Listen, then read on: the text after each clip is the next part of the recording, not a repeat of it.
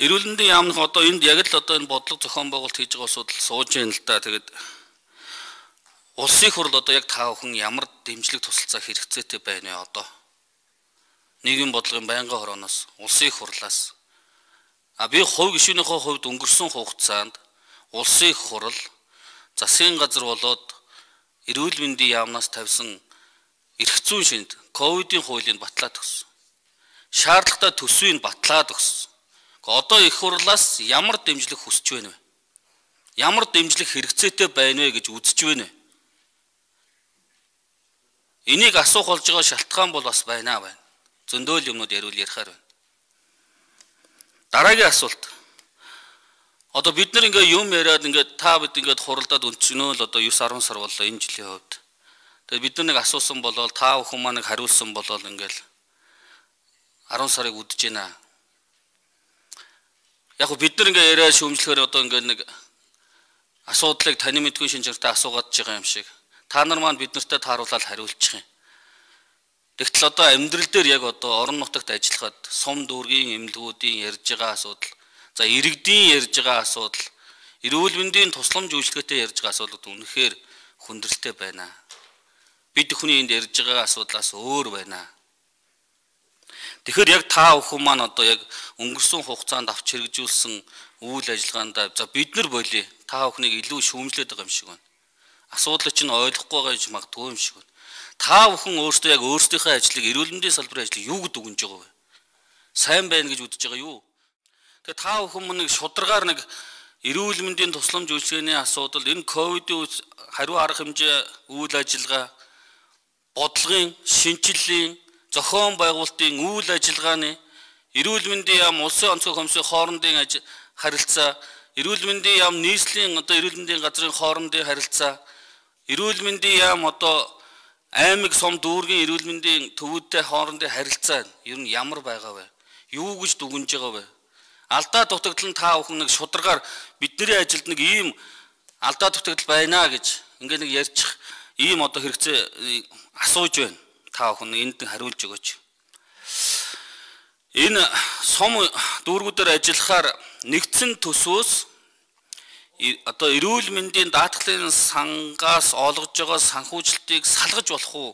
Салгаж өгөөч ээ гэдэг ийм хүсэлтүүд асар их ирсэн. За эрүүл мэндийн салбар ганцхан энэ жил ингээд ийм болохоо байлцсан ийм байдалтай байгаа юм биш. Энэ манай тогтолцоо л ийм байгаа. Одоо бид энийг засах гал сайжруулах гал ингээд явж байгаа бүх тогтолцоо ийм л байсан. Босоо биш хөвтэй тогтолцоотой. Жишээ нь эрүүл мэндийн яам 18 эрүүл мэндийн байгууллагыг л хариуцлага тооцох босоо тогтолцооны үед ийм томилгоо их боломжтой. За нийслэлийн эсэнд дүүргийг бол нийслэлийн засаг дарга болон нийслэлийн эрүүл мэндийн газрын дарга нарын юугаа яг эрүүл мэндийн сайд зөвшөлдсөн гэсэн юутай. Орон нутагч гэсэн тийм адилхан байгаа. Тухайн орон нутгийн засаг дарга нар яадаг. Энэ бол ялцгүй тогтолцооны бас нэг юм гажуудлууд байгаа. За бидээс хавар энэ хуулийг оруулж ирсэн. Та бас түрүүн асууж ин ямар дэмжлэг авмаар байна гэж байна. Биднээс энэ одоо намар энэ хуулиудыг дахиж оруулж ирнэ. Энэ дээр харин та хэд маань энэ тогтолцооны тал дээр хариуцлагын тал дээр энэ ч биднээсээ бас хамтарч энийг бас цааш хэрэгжүүлэх тал дээр биднээс бас туслаг дэмжлэгээ үзүүлнэ гэж найдаж байна. Одоо гонц оны төгс биднес туслаа дэмжлэгээ бол энэ дээр л байгаа. Хамгийн гол нь биднес нь хариуцлагын тогтолцоо энэ хууль эрх зүйн юун дээр биднес энэ ч нэлээд дэмжлэг авах шаардлагатай.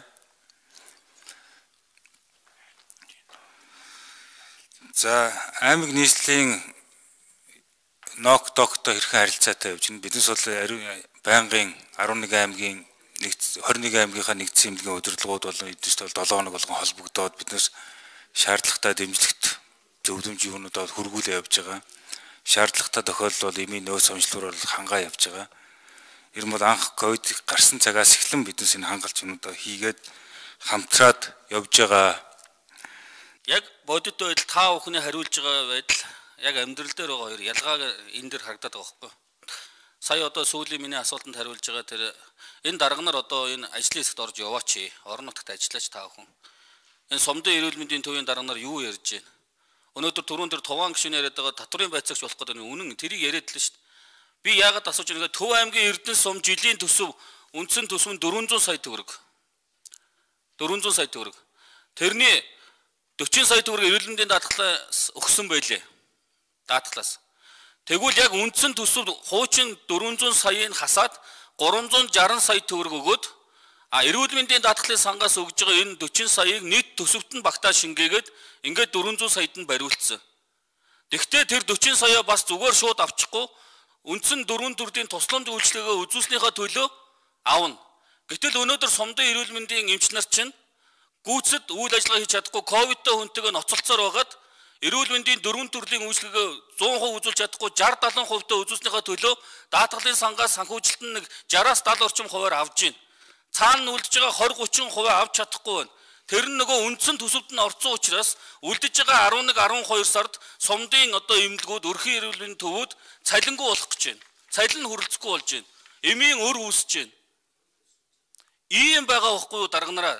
Энийг чинь би асуугаад байгаа. Тийм учраас хуучин 400 саяд нь бүх цалин мөнгө нь ороод, бензин шатхуун нь ороод бүх ингээд төс нь орцсон байсан. Тэгвэл та нар 360 сая төгрөгөөд даатгалын сангаас өгдөг 40 сая та нар энд нь багтаагаад өгцөө. Энэ даатгалын сангаас өгж байгаа мөнгө чинь нэмэлт санхүүжилт биш. Үндсэн төсөвд нь батлагдчихад байгаа учраас та нар бол даатгалын сангаас нэмэлтээр өгж байгаа. Тийм учраас нэмэлтээр өгж байгаа учраас эмчнэрийнхаа цалин урамшууллыг нэмнэ үү, нөөцөө бүрдүүлнэ үү, хүмүүсээ сургана уу? Ийм одоо байдал боломжтой гэж яриад байгаа амьдрал дээр үгүй харин 40 саяга эмнэлгийн тухайн сумдын дарга нар яаж үлдсэн хугацаанд бүрдүүлэх вэ гэж толгой гашлаад явж байна. Энийг л яриад байгаа юм. Энэ яг сая орон нутагт ажиллахад эрүүл мэндийн сумдын төвийн дарга нар энийг яриад байна. 27 сумын дарга нар энийг яриад байна. Энэн дээр та нар юу гэж хариулах вэ? Тийм учраас энэ манай ажлын хэсгээс гарч ажиллаж байгаа энэ багт одоо оюун чимэг дарга энэ эрүүл мэндийн яамныхныг сангийн яамныхныг бас оруулж явж өгөөч.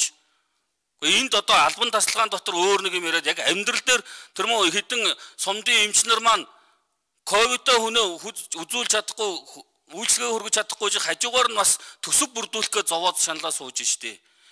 Тэгээ биднэрт энийг бүр уламжилж өгөөрэй гэсэн үднээс өнөөдөр зарим гишүүд маань одоо орон нутгад ажилласныхаа хүрээнд энд өнөөдөр энэ энэ дотроо ярьж байгаа юм. Энийг та бүхэн маань юу гэж бодож байгаа юм? Би энийг асуугаад байдаг та нар маань арай өөр өдлөөр хариулаад байх юм а гэдгийг хэлье. За цаашдын стратеги бол бид нар ерөн бол ковидтай бол дасан зохицохоос өөр арга байхгүй.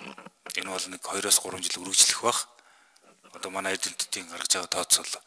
Тэгэхээр бид нар энэ бод цаашдаа вакцинжуулалт юм өндөр хувьтай явж байгаа учраас бид нар энэ цаашд болж өгвөл энэ халдвар хамгааллын дэглэм барих одоо new normal буюу энэ хэвийн амьдрал руу шилжүүлэхийн тактикийг бол барьж байгаа. За энэ бол 7 8 сарын үеэс ч гэсэн бид энэ тактикийг бол хэрэгжүүлж эхэлсэн. Одоо ч гэсэн бид нэр хөл хариад болж өгөл тавихгүй ийм тактик баримталж явж байна. Цааш ч гэсэн бидээс орны ирэмблэлт ангилтыг бол өшөө чангах нь яг ирэмблэлтэй зөв хийж яг шаардлагатай хэвдэх шаардлагатай хүмүүсээ хэвтээд ирэхдээ энэ орны зохицуулж гисэн хэвийн байдал руугаа шилжиж эхэлнэ одоо ард иргэж гисэн дасан зохицох байдал руу шилжнэ гэсэн юм төлөвлөгөөтэй байна.